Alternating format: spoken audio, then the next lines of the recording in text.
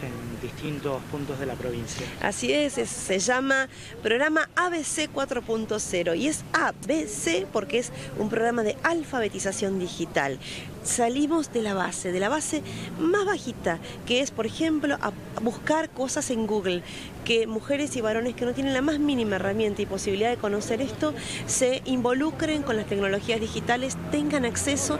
En el, en el A va a ser la alfabetización más básica, el B ya es un escalón mayor, es aprovechar herramientas más importantes de Google, eh, que todo, a lo mejor todos ustedes ya saben, pero hay muchas personas que no lo tienen estas herramientas, y el C ya tiene que ver con... Eh, involucrarse en el mundo del trabajo, diseñar páginas web, poder eh, mejorar la promoción de los productos en caso que se, en caso que se eh, dediquen a la economía popular.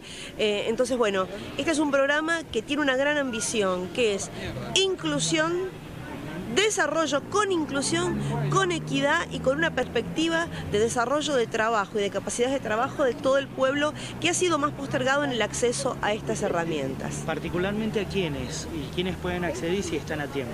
Mira, hoy eh, estaba el señor Gramajo, con su intendente Gramajo eh, empezamos con chimbas y la mayoría, la mayoría de las mujeres me comentan son más de casa mujeres que están en sus casas, mujeres a lo mejor personas que, no han tenido la más mínima chance. Nosotros no queremos gente que sepa, queremos gente que no sabe, que necesita hacer de esto una oportunidad para su vida. Entonces estamos buscando la admisión y la inscripción la manejan los municipios. Nosotros ponemos los materiales, eh, la empresa, que es una empresa que ganó una compulsa de precios, digamos, para poder ingresar en este, en este programa, eh, y que es muy interesante, es una empresa de mujeres no, no voy a decir el nombre para no, pero...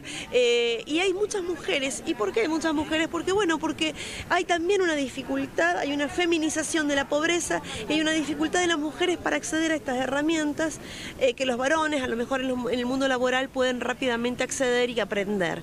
Así que digo mujeres, pero también digo varones que no saben o que no pueden, eh, y está abierto a todo el pueblo. Hay cupo por ahora. Hoy a las 11 nos van a encontrar con San Martín, con el departamento de San Martín que arranca mañana las clases. Después con Valle Fértil, después con Sarmiento, después con Calingasta. Vamos a ir uno por uno. Hay cupo porque somos chiquitos en la C-City, pero el gobernador ya está comprometido a ampliar esto a la provincia si esta experiencia no sale bien. ¿Cuántos son los cupos básicamente?